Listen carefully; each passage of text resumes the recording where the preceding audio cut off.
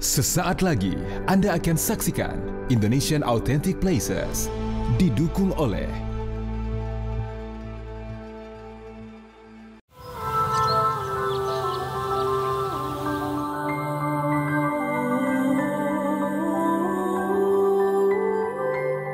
Candi Borobudur, magnet yang mampu menyihir jutaan pasang mata dengan segala keajaiban dan nilai historis yang dimilikinya. Siapa sangka di balik kemegahannya, ia dikelilingi oleh banyak desa wisata yang menawarkan pengalaman baru bagi wisatawan yang ingin berlibur. Keragaman seni budaya, serunya aktivitas wisata, keramahan masyarakatnya, keunikan produk ekonomi kreatif, dan masih banyak lainnya yang hanya kamu temukan di Indonesia aja.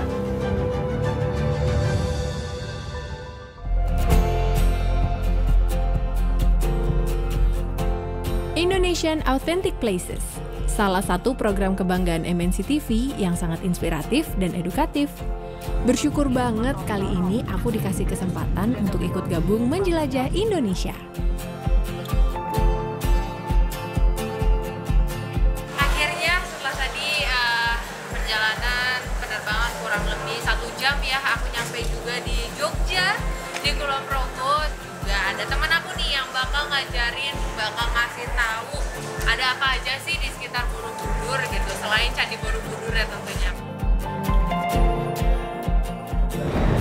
Nah, demi memutus mata rantai COVID, makanya nih kita sekarang sebagai wisatawan harus isi e-hack supaya nanti semua perjalanan kita juga tercatat. Gitu guys.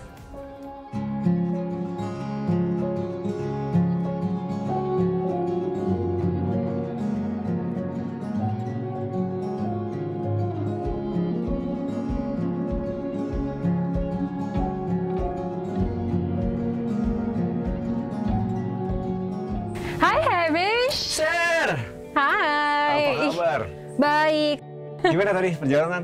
Ah, seru sih. Perda- eh, tadi penerbangannya juga oke, aman sih semuanya. Iya. Dan yang paling eh, bikin aku amazed sih emang protokol kesehatan di di airport tuh udah bagus Betul. banget. Iya, iya kan? Jadi kayak kalau misalnya pengen travel tuh nggak nggak worry gitu loh.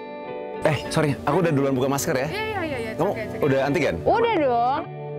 Ini apa? kopi tubruk dan ini gula aren yang dibikin di sini.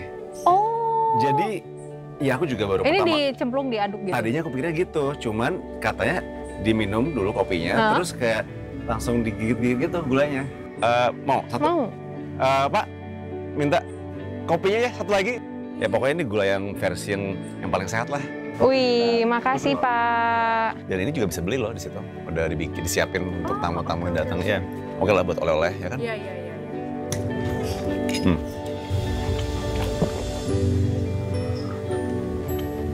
Oke, menarik. Menarik sih. Kopinya pahit banget, terus habis itu dia tambah gula ini jadi lebih balance. Hmm. Ngomong-ngomong udah habis dari mana aja? Tadi ke Candi Borobudur dong. Udah gimana sekarang di sana? Aduh, it's so beautiful, keren banget dan ya udah ada prokes. Maksudnya itu yang beda, yang membedakan dari zaman dulu kan.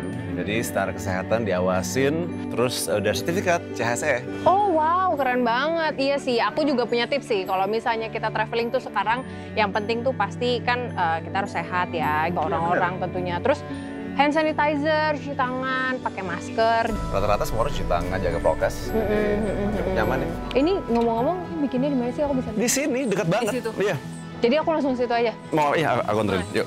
Oke. Di sini tidak hanya dapat menikmati secangkir kopi, namun para pengunjung juga diperbolehkan ikut dalam proses pembuatan gula aren atau gula jawanya. Oh iya, untuk lokasi gubuk kopi ini berada di desa wisata Karangrejo, yang lokasinya deket banget dari Candi Borobudur. Tentunya hanya ada di Indonesia aja.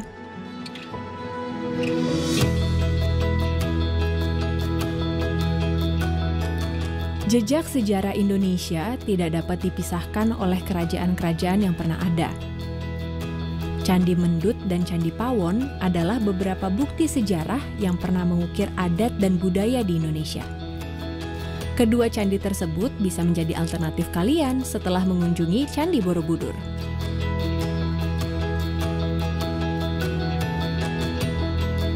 Rasa ini sudah tidak sabar untuk melihat dan menyapa desa dengan pesona yang dimiliki Desa Wisata Karanganyar Magelang. Wah, ternyata nggak jauh ya dari Borobudur ke Desa Wisata Karanganyar. Satu daerah gitu ya. Ah, masih satu daerah. Yuk turun yuk. Nah, paling penting nih, jaga prokes. Wih, cuci tangan dulu ya.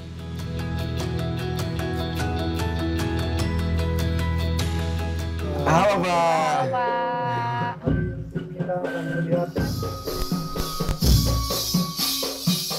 Jangan banget ya kayak di rumah sendiri gitu. Bener-bener di sini tuh penuh dengan kehangatan. Jadi enjoy banget di sini. Inilah tarian topeng ireng, tarian khas Desa Wisata Karanganyar yang biasa dilakukan dalam penyambutan kedatangan wisatawan.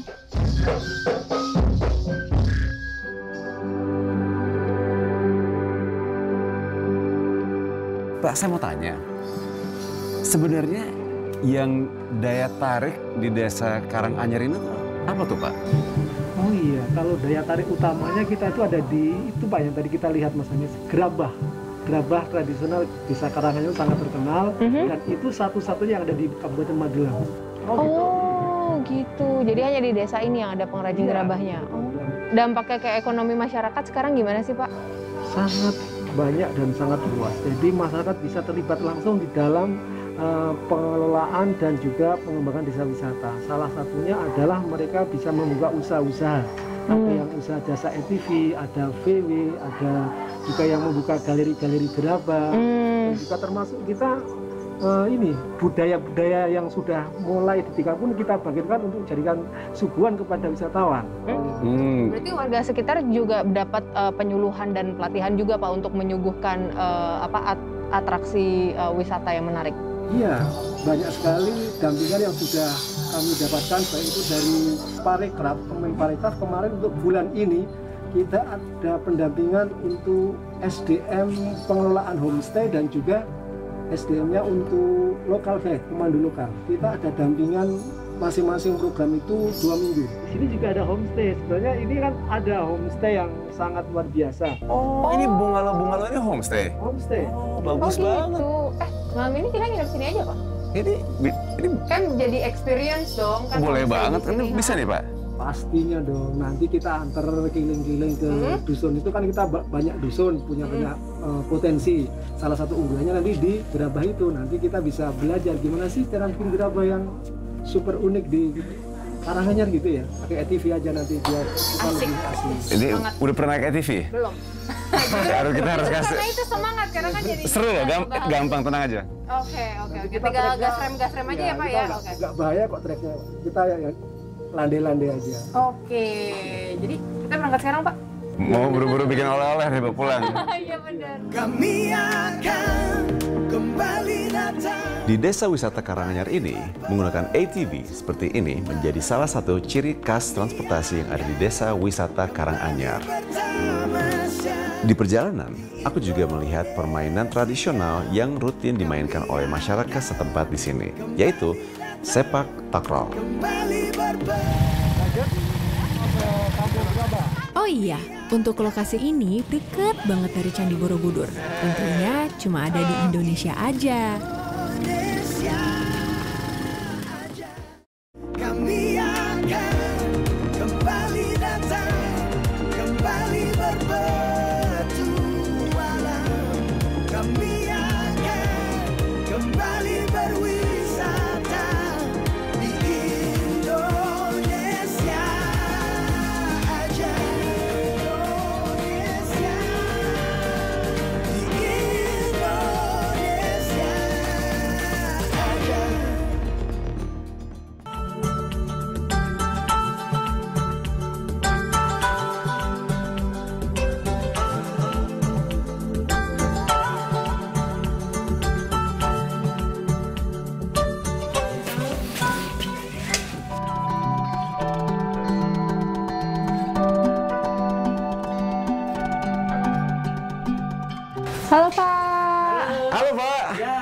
Wah, ini lagi bikin apa nih? Ini bikin tadasan.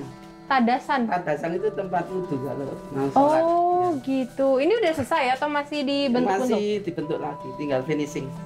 Oh, gimana sih seru banget. Pak, saya mau coba bisa nggak ya bikin? Boleh, boleh. Ye. Boleh, silakan. Duduk ya, Pak. Oh, ini bagus-bagus banget sih Pak. Ini lihat unik-unik gitu loh bentuknya, Iya. desain-desainnya. Biasanya tinggal pemesanan. Dari showroom ini, apakah bisa dibeli online? Bisa. Ya. Sering juga banyak tamu-tamu yang lewat online harus sekarang. Emang udah Oh. zamannya juga ya, Pak ya? Ya, kita harus mengikuti. Untuk membantu ekonomi ya, kita bisa uh, jualan lewat online. Lewat online. Iya, betul. Ya, juga ini juga mungkin metode baru juga ya, Pak ya? Iya. Itu biasanya pembelinya itu dari mana aja, Pak? Eh, kalau yang untuk bulan-bulan kemarin itu malah ada yang dari eh, Kalimantan, Hmm. kemudian Sumatera juga sudah mulai merambat. Terus ya ini kayak cuman ada, kayaknya cuman ada di Indonesia aja. Jadi memang menarik banget ya wisata edukasi kayak gini. Biasanya kan kalau misalnya orang wisata nggak pemandangannya doang, gitu. Cuma dapat foto-foto. Ini dapat pengalaman, dapat Dapat hasil karya juga, dapat Dap- ilmu. ilmu baru. Mm-mm. Iya. Dan kita juga bisa sportif dan beli kreatif lokal ya. Mm-mm, mendukung ekonomi warga sekitar juga. Ini masih uh, basah dan ya masih agak lembek gitu ya Pak. Iya. Nah tahap berikutnya ini gimana nih Pak? Eh, biasanya kita keringkan selama tiga hari kalau Di- lagi musim panas. Di matahari? Ya, matahari. Baru nanti proses pembakaran. Oh itu dimasukin ke oven gitu? Eh, biasa kita pakai kalau yang besar-besar ini namanya tungku ladang. Jadi pembakaran di luar Aha. pakai eh, jerami atau mungkin pakai skam gitu. Itu deketin api aja gitu? Nah, langsung di apa di Oh langsung ini dibakar di Iya. tengah. Berarti dia di tengah-tengah api gitu. Iya. Nanti ke, oh oke. Nah dari situ baru bisa di, Finishing, digambar, di, ya. dicat, Ya. sebagainya gitu ya. Ya, Dikasih tinggal nanti eh, apa pemesannya Sesuai dengan pesanan? sesuai dengan pemesanan. Aku lihat-lihat ini boleh Pak? Udah dua tahun ya pandemi nih Pak ya. Banyak yang harus cari angle kerja yang baru, kreativitas yang baru. Kalau buat Bapak sendiri ada perubahan apa aja Pak yang harus dilakukan untuk untuk untuk terusin bisnisnya Bapak? Ada terobosan baru ketika eh, semangat eh, untuk memasarkan produknya kan sudah mulai banyak tapi pembelinya kurang. Makanya kita juga menerobos eh, di WhatsApp juga di Instagram, Hmm, e-commerce juga. gimana caranya bisa sambung barangnya sama pembelinya itu ya? Jadi eh, bisa bangkit kembali karena banyak-banyak berpromosi juga. Terima kasih banyak. Iya, sama-sama. Senang bisa belajar dengan Bapak hari ini. Ya. Kita Pamit sekalian ya. pamit. Makasih ya Monggo, Pak. monggo, oke, selamat jalan.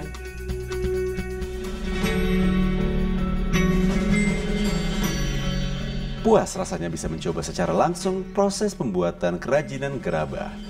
Namun, tidak hanya itu saja di desa wisata Karanganyar ini. Pastinya juga ada produk ekonomi lokal seperti yang akan kita kunjungi saat ini, keripik gembus. Permisi. Halo, Pak. Bapak. Halo.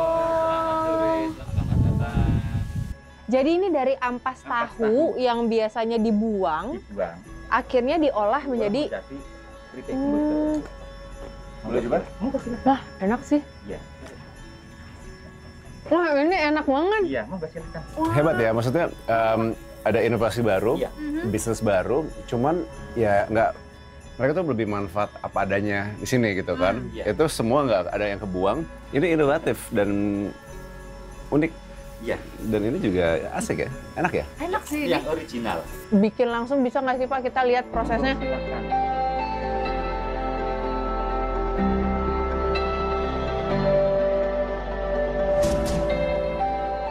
Ini ada yang bisa saya bawa pulang nggak nih Pak? Ada ini apa? Oh ini udah dibungkusin ya? Udah dikemas. Wih, Oleh-oleh. oke. Pak, terima kasih banyak. Sama-sama. Pokoknya kalau pendatang lagi liburan, mampirlah sini ya. Oke. Komplit lah pokoknya. Thank you banget Pak, makasih banyak Pak. Terima kasih. Terima kasih, Pak.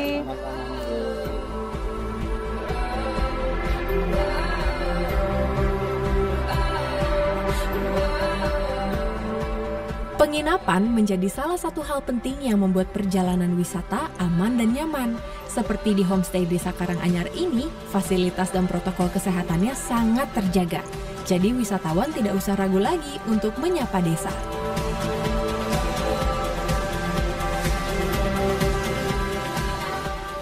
Ini di belakang lagi ada ini ya, apa sih namanya eh, Gamelan. gamelan.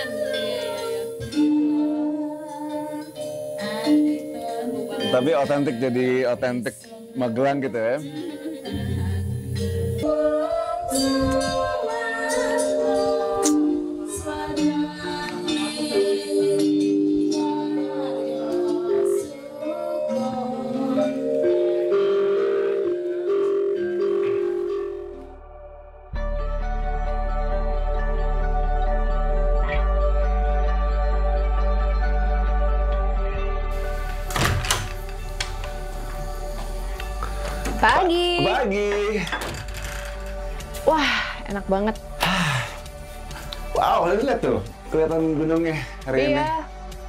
Bangun-bangun terus view-nya langsung kayak gini tuh seger banget sih. Mau main ke sawah situ nggak? Main sawah? Pagi-pagi. Yuk. Nyari petani, siapa tahu bisa ngajak ngobrol-ngobrol. Yuk. Jalan-jalan boleh, boleh banget. Oke, jangan lupa maskernya.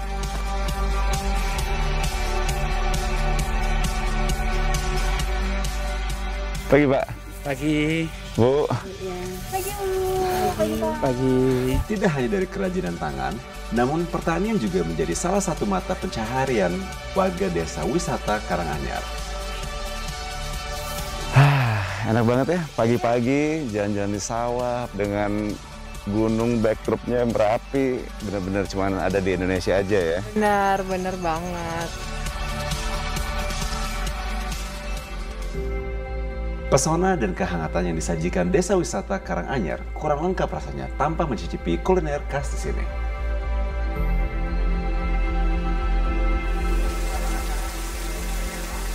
Ya ini dia nih tadi yang aku sempat belajar masak juga diajarin sama ibu-ibu di Desa Karanganyar. Makasih banget Bapak, Ibu atas sambutannya.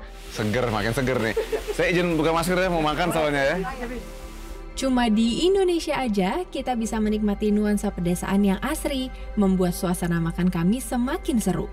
Apalagi ditemani masyarakat desa wisata Karanganyar yang sangat ramah dan penuh dengan canda tawa.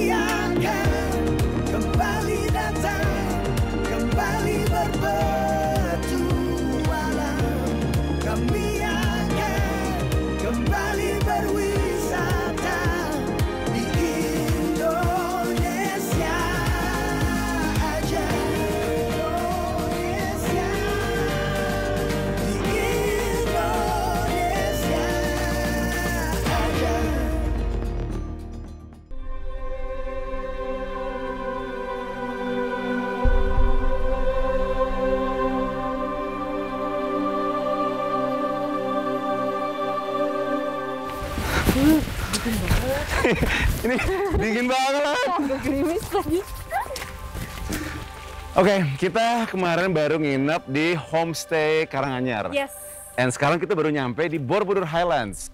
Nanti besok pagi kita pasti cek. Kita jalan-jalan dan kita cek situasi di sini ya. Oke, siap. Yaudah kita istirahat dulu kalau gitu hari ini.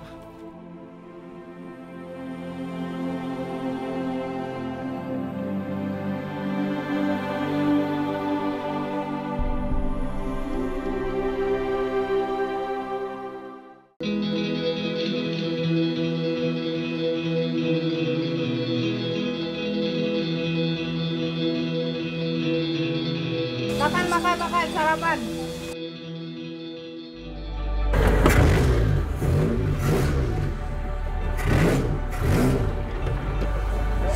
Seru nih. Baru coba 30 detik tapi udah kangen dengan off-road. Sejak pindah ke Jakarta udah enam tahun nggak pernah off-road. Jadi ya kangen. Jangkrik. Kita pergi ini mau off-road. mobil off-road yang yang benar-benar itu bukan mobil yang mewah, yang ratusan juta gitu harganya. Ini yang buatan lokal, rakitan apa adanya. Karena kalau buat off-road tuh, kalau lecet tuh nggak apa-apa. Jadi ini uh, this is the core of off-road driving. Keren. Wah. Oke. Gitu deh. Oke, ini pertama kali aku off-road. Ah, I experience so many things for the first time. Sangat memacu adrenalin ketika melewati beberapa jalan yang ekstrim seperti ini. Rasanya sih ingin turun ya, namun rasa penasaran dan momen seru ini membuat aku lebih tertantang untuk bisa menyelesaikan rute off-road ini hingga akhir. Pertama kali aku ikut trek ini aku taruh sopan tadi bawahnya harusnya langsung aja hajar.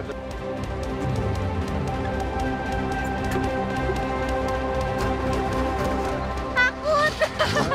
Tapi seru. Oh, the best. The best.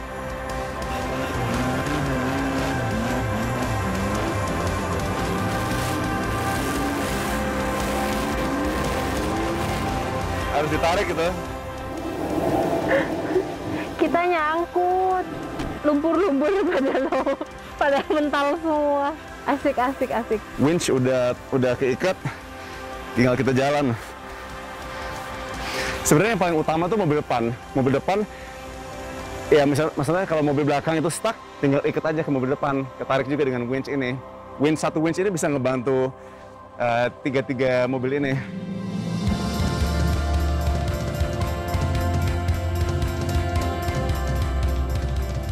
Oke, kita barusan selesai off-road di Borobudur Highlands. Ini keren banget, sumpah. Dan anak-anak sini udah aware banget dengan mobilnya, dengan kondisinya. Em, sekarang kita mau menuju ke kebun teh.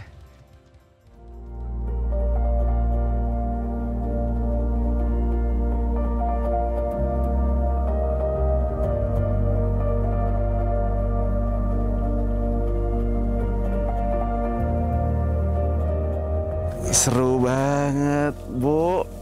Ini tehnya prosesnya untuk dari petik sampai bisa diminum itu itu gimana ya, Bu?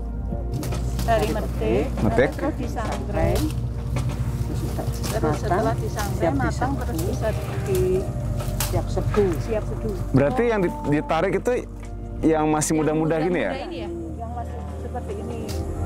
Pas banget nih kita habis capek off-road ya, agak aus juga sih. Bisa kenalan sama Sambil duduk-duduk ngobrol-ngobrol. sama ibu-ibu baik ini. Oke, Bu. Semangat ya, Bu ya.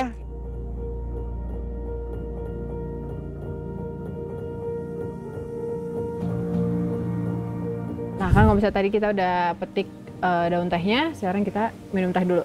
Langsung dari Yes, kebunnya ya. yes. Keren. Minum teh hangat secara langsung dari perkebunan memang suatu hal yang sangat luar biasa.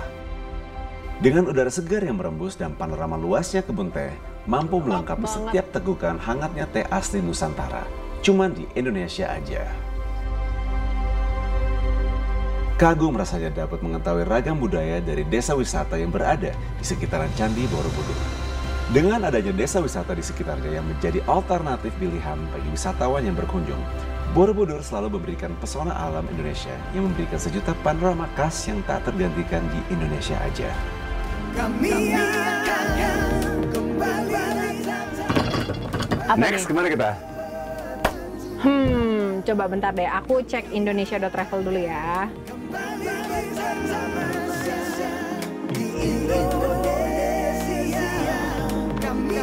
Nah, gimana kalau kita ke Toba? Let's go! Oke. Wah, keren banget. Aku pulang kampung. oh iya betul, benar benar benar benar.